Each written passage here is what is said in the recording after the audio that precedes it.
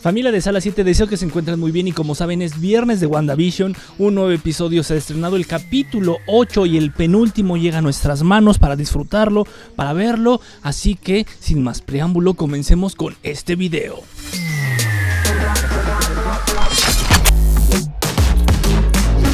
Este video contiene spoilers, así que velo bajo tu propia responsabilidad.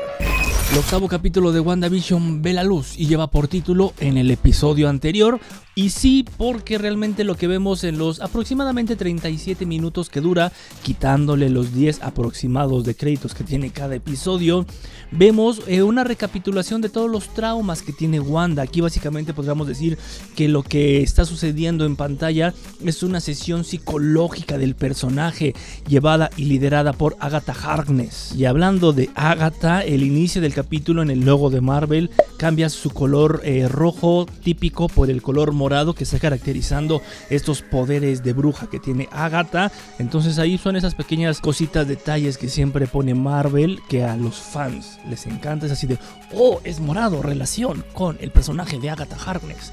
Entonces, pues empezamos con esas cositas que endulzan cada uno de los capítulos de esta serie y de las películas del universo cinematográfico de Marvel. También para conocer el origen de este personaje, el origen en esta serie, el origen en este universo, eh, que nos remonta al año 1963. No es cierto, al revés, 1693, en Salem, Massachusetts, eh, en donde vemos como una, un grupo de brujas llevan a Agatha para confesar y que diga si es una bruja o no. Y resulta que ser que es como parte de su familia y eh, dan a entender que ella empieza a obtener estos poderes eh, más fuertes que de los normales, de los que otra bruja tiene, porque eh, los obtuvo como de un libro, haciendo referencia también yo creo que al libro que vemos en el capítulo anterior ahí en el sótano de su casa. Y pues al final de cuentas vemos cómo ella sale triunfante y vence a todas las brujas. Y recordando este tema del libro, desde el capítulo le hicieron un close-up así como detonando, diciendo que esto es algo muy importante. Se crearon varias teorías en internet hablando del libro que aparece eh, robado en la película de Doctor Strange. Varias hipótesis fueron creadas y aquí solamente como que lo mencionan eh, y listo, o sea, no se le hace eh, demasiada bulla a su alrededor, entonces... Mm, ¿Para qué le pones atención a un libro y después ya no? No sé si en el final eh, de temporada veamos un poquito más sobre este libro. Supongo que sí, pero se me hizo curioso de que en este capítulo no se le pusiera tanta atención. Una de las dudas más importantes que se resuelven en este capítulo es ver la intención que tiene Agatha Harkness en los poderes o en el personaje de Wanda. ¿Por qué? Porque pues, durante toda la serie realmente esa era la cuestión quién es Agnes, cuál es su intención, por qué está ahí. Y resulta que quiere saber de dónde surgen estos poderes, porque de la nada eh, ella se empieza a dar cuenta que Wanda puede manipular a ciertas personas y dejarlas como en piloto automático viviendo en otra realidad, cuando eso parece ser demasiado poder para una bruja normal, común y corriente. Y por esa razón es que empiezan a tener esta regresión a los momentos importantes de Wanda en su vida. Y también en esos recuerdos nos aclaran por qué Wanda empieza a recrear como estas series de comedia de los 60s, 70s y demás décadas que hemos visto en todos los capítulos porque siempre eh, ella veía desde pequeña estas series y eso eran como los momentos más felices que ella recuerda. También con Vision están viendo Malcolm el en medio. En cada parte detonante e importante de su vida, siempre la calma llega a través de estar viendo una serie de televisión. Otra de las cosas que más me llamó la atención de este capítulo es descubrir que Wanda realmente no se roba a Vision.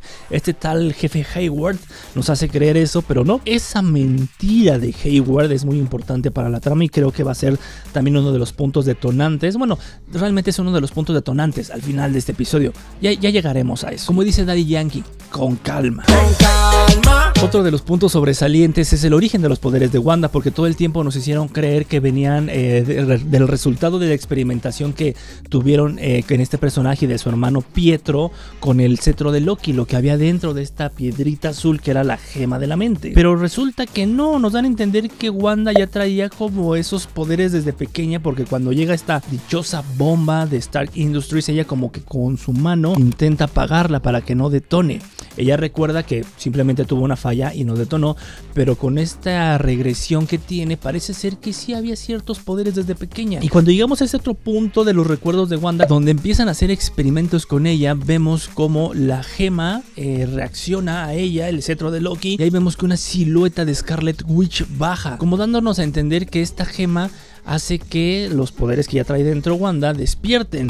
También eso me hace pensar que hacen referencia como a, lo que siempre se habló en estas películas de los X-Men, bueno, las películas y en los cómics y estos personajes, que estos personajes de nacimiento tienen un gen X que hace que tengan superpoderes, esta mutación, entonces pues puede ser que Wanda pues por ahí de un inicio sea un mutante y lo único que hizo la gema fue despertar esos genes para que así su poder empezara a crecer y crecer más y más y más. Pero bueno, definitivamente el origen de estos poderes y su explicación va a detonar eh, creo que en muchas cosas eh, que vienen en este universo cinematográfico de Marvel.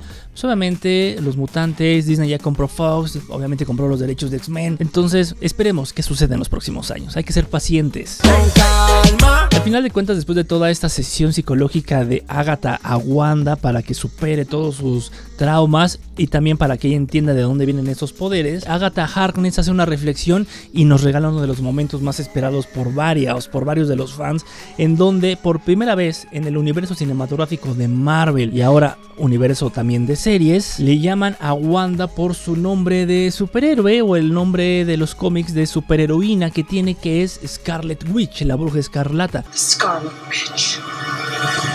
Es la primera vez que se le llama por este nombre, entonces eso es interesante, pero también refuerza esta teoría de que al parecer Scarlet Witch es una bruja que existía muy poderosa de hace muchos años y por eso cuando Wanda eh, experimenta este encuentro con la gema de la mente, vemos como ella parece ser que entra a su cuerpo porque va bajando. Ahora vamos a las cosas raras, malas y extrañas. ¿Por qué digo todo esto? Porque aquí encuentro varias contradicciones de la serie. Vemos que el cuerpo de Vision realmente se queda en Sword, Wanda no se lo roba. Wanda con los poderes que tiene y explotan por esta tristeza, vemos que ella misma crea a Vision, una nueva visión con todo y gema, con todo y poderes. ¿Será que estos mismos poderes que ella tiene y despertaron por el contacto con esta gema del infinito puedan hacer que recree de nueva cuenta poderes en otra persona? Lo más importante de todo, ¿puede Wanda crear de la nada Vibranium? Y de hecho en uno de los episodios anteriores vemos como Hayward está monitoreando la posición de Vision gracias al mismo Vibranium. No, espero que en el siguiente episodio nos resuelvan esta duda porque si no... Ay, ay, ya vamos a empezar con estas incongruencias que no me gustan nada. Otra cosa importante, ¿dónde está la superpoderosísima Mónica Rambo? Sí, yo sé que no es Rambo, es Rambo, pero después de ver este meme, aquí en Sala 7 va a ser Mónica Rambo, porque es superpoderosísima. Y de nueva cuenta llegamos a esta escena post créditos, nos entrega un final mucho más explosivo e interesante, aparte de ya ver a, a, Wanda a punto de agarrarse a guamazos con Agatha Harkness para, para rescatar a sus hijos, vemos como Hayward lo que tanto estuvo eh, anticipando en el episodio anterior, donde nos decía que por fin iba a poder traer algo importante, no lo muestra reconstruyó a Vision, el Vision blanco de los cómics, bueno, haciendo referencia al Vision blanco de los cómics, aparece ahí diciendo que lo único que necesitaba para poder darle vida era los poderes de Wanda, los cuales se quedaron impregnados en uno de los drones que entraron y ya regresó en uno de los capítulos anteriores. Ahora aquí me pregunto, ¿por qué la única cosa que ella toca y regresa fuera del Hex y que tiene sus poderes es ese drone? Toca muchas cosas y ninguna se queda impregnada de eso. Pero bueno, eso no le roba epicidad a esa escena post créditos. Eh, va a ser interesante ver lo que nos depara el final de temporada de WandaVision, donde veremos cómo por fin va a haber un enfrentamiento entre las dos brujas, cómo llega Vision a ayudarla, cómo llega este Vision blanco a pelearse con seguramente con el Vision bueno. Y esto me recordó mucho la película de Logan, en donde vemos como Wolverine se enfrenta al Weapon 24, al arma 24. Pues esa pelea entre dos personajes icónicos de los cómics de Marvel, pues aquí Aquí vamos a ver tal vez algo similar, pero no deja de ser emocionante. Y también me interesa mucho a mí que resuelvan esta duda de cuáles son las verdaderas intenciones de este tal Hayward. ¿Por qué miente y dice que Wanda se roba a Vision cuando no lo hizo? ¿Wanda realmente puede crear Vibranium? ¿Dónde está Darcy? Por fin veremos los grandes poderes de Mónica Rambo. ¿Quién será este personaje súper épico que va a aparecer en el episodio final que tanto nos han prometido? ¿Será Tony Stark? ¿Será Doctor Strange? Ahí en internet se dice que va a ser Magneto yo no creo que sea Magneto. Es muy pronto para empezar a ver estos personajes en el universo de Marvel. Pero tú dime aquí abajo en los comentarios qué teorías se te han ocurrido después de ver todos estos capítulos, qué esperas del episodio final de WandaVision. Yo espero que se resuelvan dudas y que no sean justificaciones tan tontas que me van a hacer entrar en corajes. Pero bueno, eh, esperemos dentro del próximo viernes el final de WandaVision. Si este video te gustó, dale like, compártelo, suscríbete para que no te pierdas ninguno de nuestros nuevos contenidos que vamos a estar publicando aquí en el YouTube de Sara 7. Yo soy Aldo, nos vemos hasta la próxima.